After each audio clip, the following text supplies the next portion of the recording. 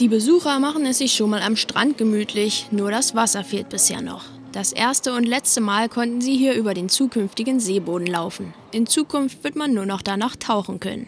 Denn die letzten Vorbereitungen laufen, um den ehemaligen Tagebau Cottbus Nord in gut einem Jahr zu fluten.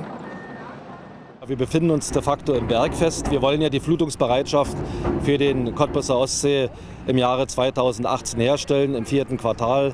Also denken wir, dass wir die Flutung vornehmen können. Das heißt, bis dahin sind noch viele Arbeiten äh, äh, zu tätigen.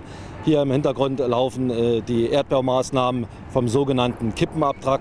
Heißt eigentlich 17 Millionen Kubikmeter Erdreich muss bewegt werden, um äh, den Seegrund herzustellen. Mehr als 30 Jahre wurde von hier aus das Kraftwerk Jenschwalde versorgt. 2015 hat dann der letzte Kohlezug den Tagebau verlassen. Dort, wo das aktuelle Gelände die Mindestwassertiefe von zwei Metern noch nicht erreicht, wird derzeit noch Boden abgetragen und umgeschichtet. Bis zu 85 Damper sind dafür auf Rundkurs. Außerdem wird das Ufer und die Inselbereiche gestaltet. Also mindestens äh, wird die Wassertiefe in der Mitte des Sees 2 Meter plus 1,70 Meter. Also es wird dann schwanken zwischen 2 Meter und 3,70 Meter. Und in den Schläuchen werden wir bis zu 40 Meter Tiefe haben, also in den Randbereichen äh, zu den Dörfern und zu den äh, Bereichen des Ufers, äh, sodass der See doch ein ausgewogenes, äh, eine ausgewogene Wassertiefe haben wird. Damit sind die umliegenden Gemeinden also auch geschützt, wenn das Wasser im See mal ansteigt. Damit sich die Oberfläche des Seebodens mit der Flutung auch nicht mehr verändert, muss er noch verdichtet werden. Dafür ist in der Lausitz das weltweit größte Gerät im Einsatz.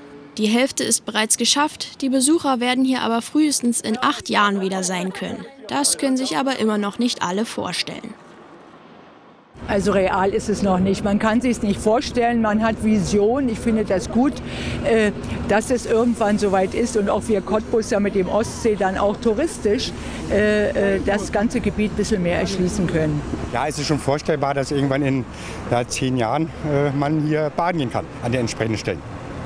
Und es ist natürlich sehr, sehr interessant äh, zu sehen, äh, mit welchen logistischen Aufwendungen das realisiert wird und mit welcher ja, fachlicher Weitsicht eigentlich auch. Es sind da so viele Sachen zu berücksichtigen, die man eigentlich als Otto-Normalverbraucher eigentlich nicht kennt.